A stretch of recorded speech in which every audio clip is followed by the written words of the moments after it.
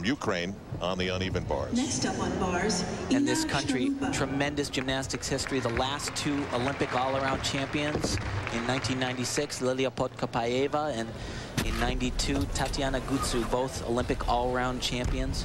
A little bit frustrating watching her in the warm-ups uh, and, and in the recent practices. She really never did the same routine twice. So she covers up many times, which is a good thing because she continues the routine. Beautiful Gienger salto there.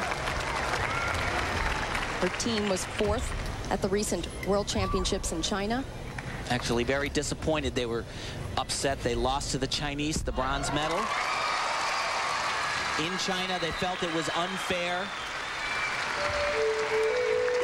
Shkarupa qualified for this Visa American Cup at the Aussie Hair Care Gymnastics Invitational in St. Petersburg, Florida. A lot on the line for her and all the other gymnasts here today. Back on NBC.